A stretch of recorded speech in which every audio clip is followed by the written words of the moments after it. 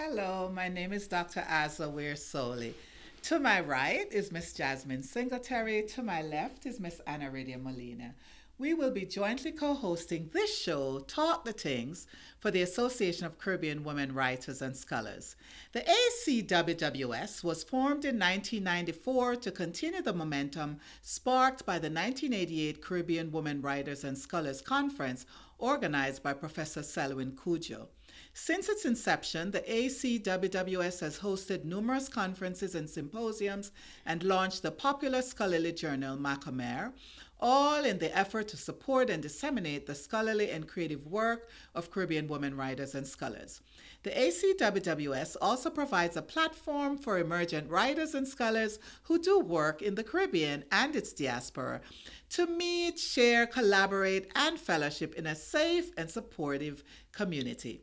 We encourage viewers with an interest in Caribbean scholarship to join our organization. Membership information can be found at www.acwws.org. The goal of this channel, Talk Di Tings, is to continue the valuable work of ACWWS by providing this online platform for scholars and writers whose work center the Caribbean and its diverse diasporic communities. We urge scholars of all disciplines, genders, races, and ethnicities to support this channel by liking, subscribing, and sharing with your friends. Talk Di Tings will feature interviews with Caribbean writers as well as poetry, fiction, storytelling, and popular topics of interest to our Caribbean communities. Um, Jasmine, would you like to introduce yourself and tell us a little bit about you? Yes, of course. Greetings. I am Jasmine Singletary, and I have a Master's of Arts in African and African Diaspora Studies from Florida International University. I also hold a graduate certificate in Afro Latin and Caribbean Studies. So this program is right up my alley. Please subscribe to our channel and consider joining ACWWS. Membership into this organization grants you an exclusive subscription to ACWWS e newsletter, access to a larger community of scholars, artists, and professionals that study and celebrate the creative and critical writings by and about women of the Caribbean and the Caribbean diaspora. As a member, you also receive mentorship and opportunities to graduate student awards. For more information about membership and what the annual dues are, please visit www.acwws.org slash membership. Please like, subscribe, and share this channel with your friends. And if they are graduate students, don't forget to enter the contest. Miss Molina, would you like to tell us a little bit about yourself? Yes, of course. Hello, everyone. My name is Anna Radia Molina, and I am an English literature student at Florida International University. My focus is in the Caribbean literature, therefore, I am so excited to be part of this project. And again, please like, subscribe, and share this channel with your friends. And if they are graduate student, don't forget to enter the contest. It will be amazing. Miss Singletary, I have a question for you. I, I know you just completed your MA in AADS, and one of the writers you focused on was Audre Lorde. I have a couple of questions for you. You can answer them in any order that you choose. Um, what are, are the, do you have a personal Caribbean connection yourself? Um, and what are the linkages that you find between Caribbean and African American literature? And do you see Lorde as a Caribbean writer or do you see her as an African American writer?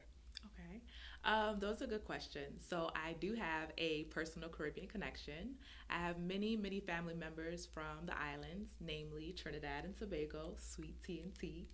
So although I am American, I grew up familiar with um, the Caribbean influence and culture. So I do think that there are diasporic connections between African American and Caribbean um, literature. Both communities face similar ethnic and racial oppressions that manifest in the literature that we write. I'd say Audre Lorde is both an African American writer and a Caribbean writer because she embraced both of those identities. Um, she was American identified, but as a child of Grenadian immigrants, the Caribbean influence is definitely evident in much of her work, especially the biomythography uh, Zami. So I do think um, American audiences tend to emphasize her Afri- her excuse me her Caribbean background um, a little bit less, however. Yeah, I think you're right about that. But even in Sister Outsider, we can see that Lorde does um, focus on her Caribbean background. There was an essay in Sister Outsider called Grenada, Grenada Revisited, in which she talks about the U.S. invading Grenada in 1983. Um, and Miss Molina, I have a question for you. What is your connection to the Caribbean? I am from the Dominican Republic. Oh, okay. Yeah.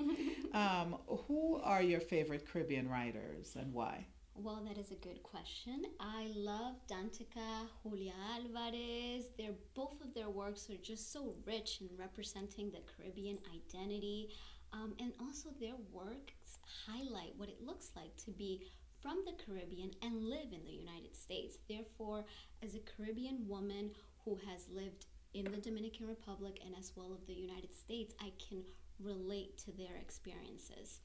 And talking about Julia Alvarez, ladies, on February 22nd, we had the privilege of meeting Alvarez at the Sanders Lecture Series, where she was honored at FIU. And guess what? She has a message for ACWWS, so let's check it out. All I signed up was to write. Now I have to endorse. I know, self-conscious. Hola to the Association of Caribbean uh, Women Writers and Scholars. Saludos uh, de Julia y su amiga que se llama Ana, Ana Lidia. Eh, bueno, para saludarle y desearle éxito en lo que hacen. Somos todo una familia del Caribe, así que pa'lante, pa'lante. There you go, guys. The one and only Julia Alvarez wishing us the best and saying that we're all one Caribbean family to never give up and to keep going. How awesome is that? That is awesome. That was That so is great. awesome. And now we would like to share with you some more information about the Graduate Student Essay Contest. The executive board of the ACWWS announces the second annual ACWWS Graduate Student Essay Contest. In the spirit of the new interdisciplinary focus of the organization, we welcome critical examinations of Caribbean women's literature and orature, but we also encourage multidisciplinary research papers by or about women, genders, and sexuality in the circum-Caribbean and global Caribbean communities. Submissions are one essay per graduate student and can be made to the ACWWS email account acwwsexecutive at gmail.com. Please attach as a Word document or PDF. Uh, maximum length of the essay should be 25 pages, double spaced. Essays must be written or trans in or translated into English, and the deadline for the essay is Friday, May 17, 2019 at 5 p.m.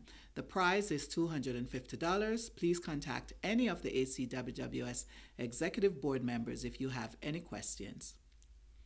Um, thank you for t- tuning in to our um, to our channel, and we welcome you. Please don't forget to like, subscribe, and share with your friends. And until we see you again, keep your head up, keep your back straight, keep your shoulders up so your crown doesn't fall off. See you later. Bye-bye. Bye.